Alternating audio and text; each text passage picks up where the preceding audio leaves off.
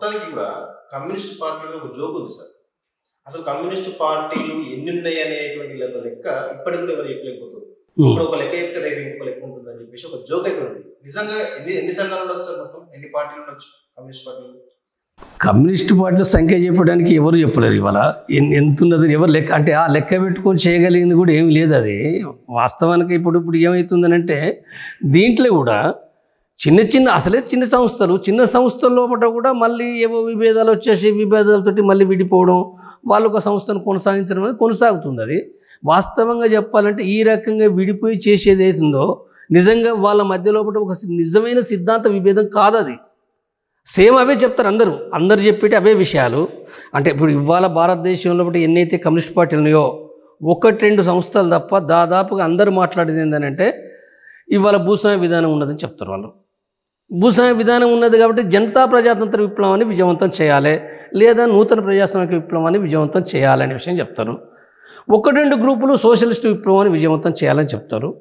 దీంట్లో వచ్చే విభేదాలకు వచ్చేవరకు ఏంది- ఏందనుకున్నప్పుడు ఇవాళ ముఖ్యంగా ఎంఎల్ పార్టీ ఎంఎల్ పార్టీ అని అంటే ఎంఎల్ పార్టీకి సంబంధించినవి కూడా దేశంలో చాలా ఉన్నాయి.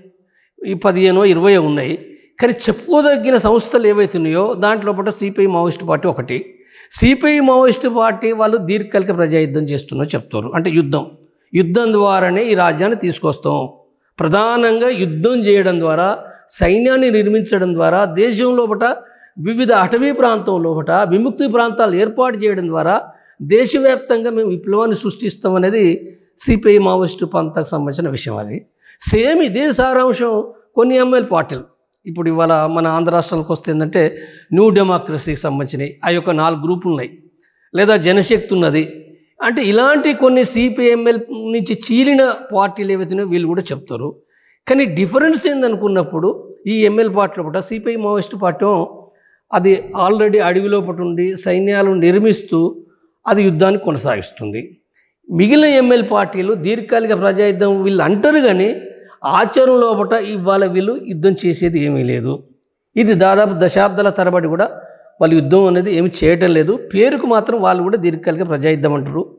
అయితే వీళ్ళందరూ ఇది అన్నప్పటికీ ఇవాళ అసలు యాక్చువల్గా చెప్పాలంటే ఇవాళ సమాజం మారింది. ఇవాళ గతంలో ఉన్న భూస్వామి విధానం లేదు. నామాత్రం ఉంది అది. అవశేష రూపంలో ఉంది. బలహీనపడింది. ఇవాళ మొత్తం దేశంలో ఇవాళ ఒక బలమైన శక్తిగా పెట్టుబడిదారి వర్గం. ఈ పెట్టుబడిదారి వర్గం అనేది అన్ని రకాలుగా ఇదే యజమాయి చేస్తుంది.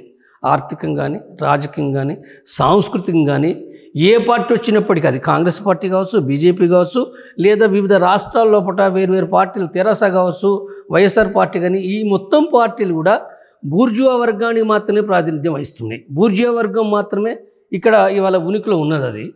కాబట్టి లేని దాన్ని లేని భూస్వామ్య విధానం పైన లేదా నామాత్రంగా ఉన్న దానిపైన వీళ్ళు చెప్పడం అనేది వాస్తవంగా చెప్పడం అని అంటే పేపర్లో ఉంటుంది. వాస్తవంగా భూస్వామ్య విధానం వ్యతిరేకంగా పోరాటం చేస్తున్నా మరి. అది కూడా లేదు కదా ఎక్కడ కూడా లేదు కదా. అంటే దాదాపు ఒక ఇరవై సంవత్సరాల కాలం నుంచి భూస్వామ్య వ్యతిరేక పోరాటమే లేదు అది. ఆచరణలో కొనసాగుతున్నది ఏంటిది? పెట్టుబడిదారి వర్గానికి వ్యతిరేకమైన పోరాటం అది.